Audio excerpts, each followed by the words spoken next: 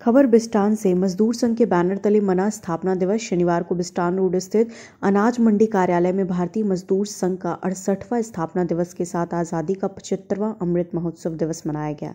भारतीय मजदूर संगठन विश्व का सबसे बड़ा संगठन है। इसकी स्थापना श्री दंतो पंत ठेंगड़ी जी द्वारा मजदूरों के हितार्थ 23 जुलाई 1955 में की गई थी। उक्त कार्यक्रम में भारतीय मजदूर संघ के जिला मंत्री श्री नरेंद्र पटेल, भारतीय मजदूर संघ की जिला अध्यक्ष श्रीमती रंजना सागोरे, आंगनबाड़ी कार्यकर्ता सहायिका संघ की प्रदेश मंत्री श्रीमती आशा अमोदे कल्याण समिति के आदि सम्मानीय पदाधिकारी, गण और सदस्य गण उपस्थित रहकर भारतीय मजदूर संघ की स्थापना दिवस का कार्यक्रम संपन्न किया। कार्यक्रम की शुरुआत भगवान विश्वकर्मा पूजन करके प्रारंभ की गई।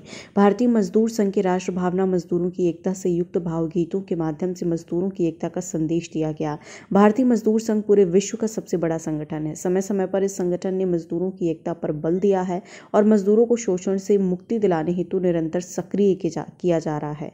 खबर भारतवर्ष के लिए बिस्टान से अखिलेश भावसार की रिपोर्ट। अपने शहर, अपने प्रदेश की ताज़ा खबरों के लिए लाइक करें, शेयर करें, सब्सक्राइब करें और हाँ बेल आइकन दबाना ना भूलें। क्योंकि खबर हमारी फैसला जनतंत्र का।